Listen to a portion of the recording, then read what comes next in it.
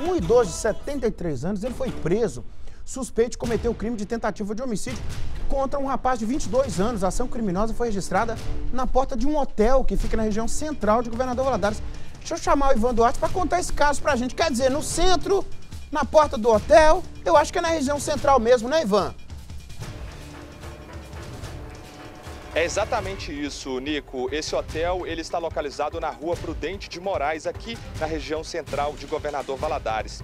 De acordo com o boletim de ocorrência, o jovem de 22 anos contou que estava sentado na recepção quando um hóspede chegou. A recepcionista então brincou com este hóspede dizendo que a vítima era policial.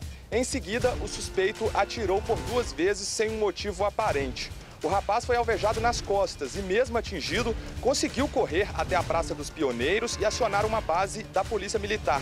Ali, ele foi encaminhado para o Hospital Municipal de Governador Valadares. Os policiais então fizeram as diligências e conseguiram prender em flagrante um idoso de 73 anos que é o suspeito desta tentativa de homicídio.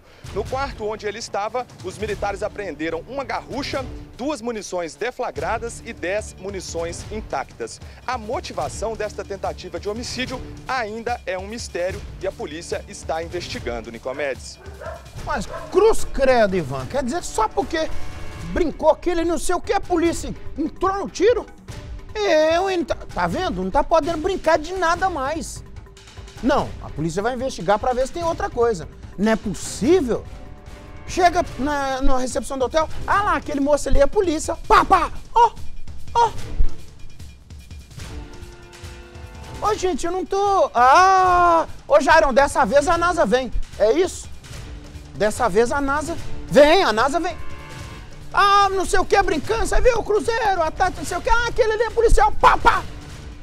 Sem motivo aparente, é o que diz a ocorrência. Ah, eu não aguento isso não. Eu, hein? Ô, Ivan, acompanha esse caso aí, meu filho. Você descobriu outra coisa, você vem contar, porque essa que você contou aí já me deixou aborrecido. Eu, hein?